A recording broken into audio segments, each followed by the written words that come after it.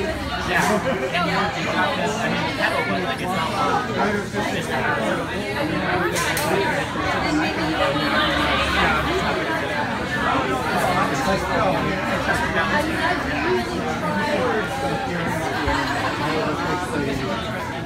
All right, good morning, everybody.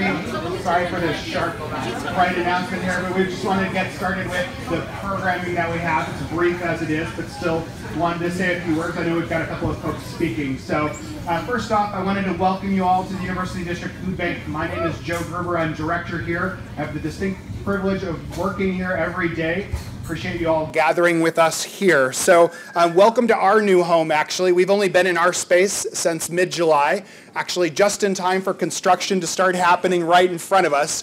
So, um, so we can understand a little bit of the impact that this project has had on the community, though certainly not nearly as much as some of the other businesses and residents have experienced over the, or the duration of the project. So our celebration um, certainly, though, very much appreciated. Um, and while we've only had a small um, kind of time here, we've been a community resource for more than 30 years. And so for us, where you're standing and where you're gathering today is actually the distribution area for the food bank. So when we were in our old space, everything was in a very small church basement, very, very small. We wouldn't have been able to fit merely a quarter of you here. So it's exciting for us to be able to have this many folks gathered in our new home.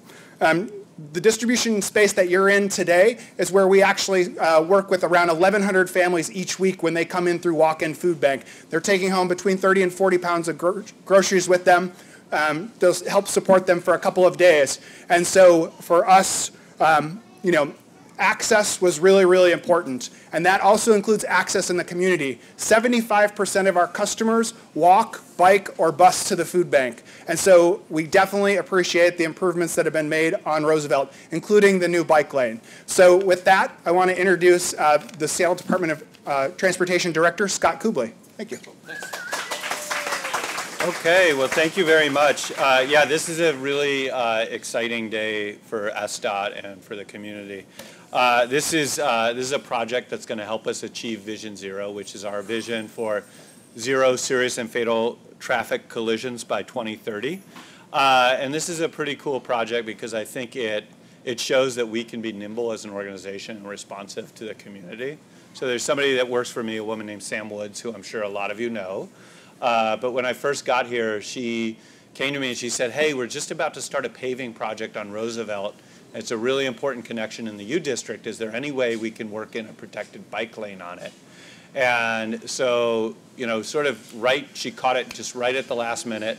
And so we were able to work it into what would have been just a regular paving project. And so we were able to make transit improvements and bike improvements and pedestrian improvements, all while uh, giving a nice smooth surface to drive, ride a bus and ride a bike on. And so Kyle Rowe here, uh, who is now managing our bike share program, uh, worked really, really hard with a lot of other people at SDOT to make this happen. And in doing so, we toured the street with the people that live here and work here. Uh, we talked to the families that are here about what their needs are from the street uh, from a safety perspective. We worked with retailers to identify uh, locations where we could add on-street parking. And we actually also developed a residential TDM program as a result of this project. It's a rapidly growing neighborhood people were concerned about loss of parking, and so what we try to do is come up with a residential uh, travel demand management program as well. Uh, in planning and preparing for the project, it wasn't just about design. Also, construction impacts happen with every construction project that we do. So we, we wanted to minimize the impacts that we had. And so we went with phased construction uh, as we went down the corridor so that we can make sure that uh, we were in and out of the street as quickly as we could in front of businesses. Uh, so major construction's done, uh, which is really exciting, so people can start using it now. Uh, we still have a, to put up a few signs, uh, and then it will be really, really done. Uh, but we're really uh, thankful for all the support. I think it's great that on a sunny Saturday, or a, sun, a rainy Saturday, not a sunny Saturday, a rainy Saturday, we can get up a bunch of people up off their couches, which is where I would be uh, on a typical rainy weekend day, uh, to come out here and celebrate. So thank you guys very much. The next person that I'm going to invite up is Cathy Tuttle with uh, Seattle Neighborhood Greenways.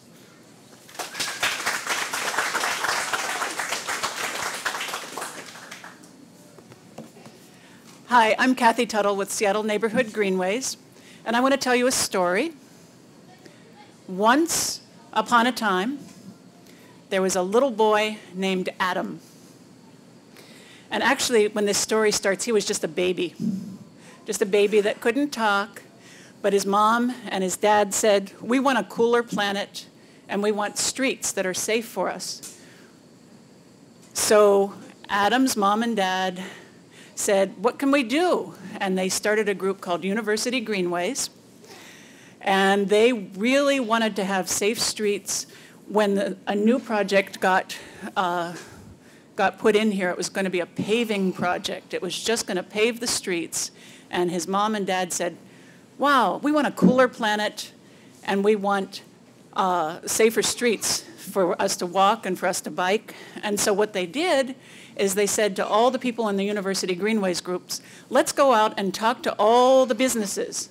Let's talk to the people who run the library and the people who have the food bank and the people who have restaurants and say, you know what, safe streets are great for business. We'd love to have a safer street here on Roosevelt, wouldn't you? And a lot of the businesses said, yes, we want to do that. A lot of the people who lived here said, yeah, we want to be able to walk and bike to our local businesses. So Atom's parents and all the people in University Greenways, and let me tell you who they were too. So it was Bob Edmondson and uh, let's see, Max Turan, Forrest Baum, Drew Dressman, Megan Horst, Scott Bokojian, and actually there were a lot of other people too, but those were the people that went out and talked to lots of businesses and said, can we have a safer street here? And then they met the new person who came to the Department of Transportation, and that was Scott Kubly. And he said, yeah, that's a good idea. Maybe we can have safer streets here. Maybe we can make a cooler planet when we're putting in this new paving. And so that group also talked to, the University Greenways group, they also talked to a group called Feet First. And two of the people from Feet First, Lisa Quinn and Jim Davis did a walking audit of the place.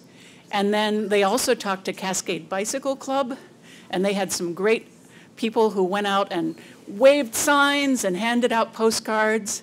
Um, two of them were, uh, that were really busy doing that uh, were Brock Howell and uh, Jeff Aken. So they really helped out a lot. And so all of these people from all of these different community groups got together and the Department of Transportation said, maybe we can find a little more money to make a cooler planet and safer streets. So all of those people, all of those community groups got together and they made a safer place and a place that's going to make a cooler planet too. And it's just the start. There's lots of places where we can have safer streets and lots of ways we can make a cooler planet. And it's all done because there was a little boy named Atom, who's now five years old, and because there are kids everywhere whose parents really care about a safer street and a cooler planet. Some of those kids are here today, Lila and Clara and Roland and Hank and Dylan and Eleanor and Jillian and Jack and Orion and all of those kids are going to have a safer way to walk on Roosevelt and a safer way to bike on Roosevelt when they get older. And we're going to have a cooler planet because of it. Thank you very much. And I'm supposed to introduce Shefali uh, Ranganathan. So, thank you.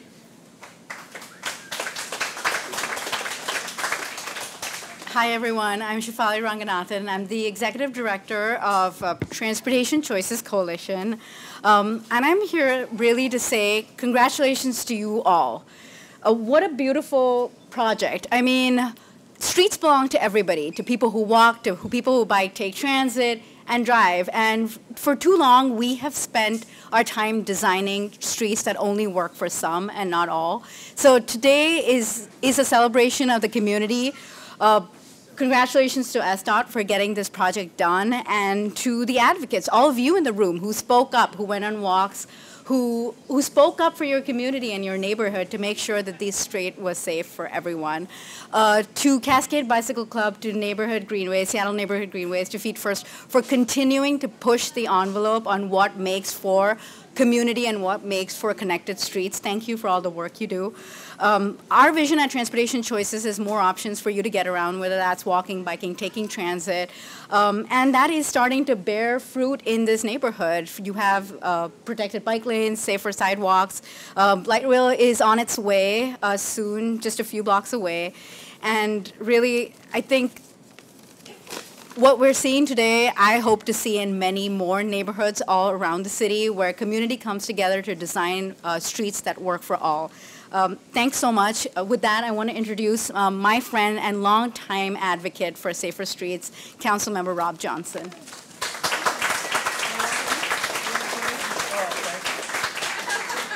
I've got some escorts with me this morning. Thanks, everybody.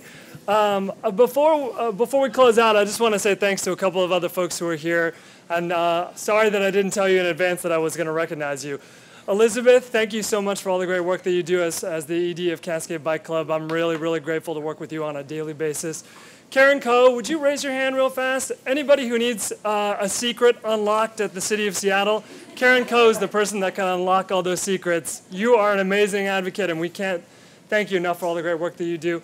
Elizabeth, will you, Elizabeth McCrory from UDP, will you wave? Thank you, Elizabeth. The UDP does a lot of great work in the neighborhood around making the neighborhood cleaner and safer, a lot of business development opportunities in the neighborhood.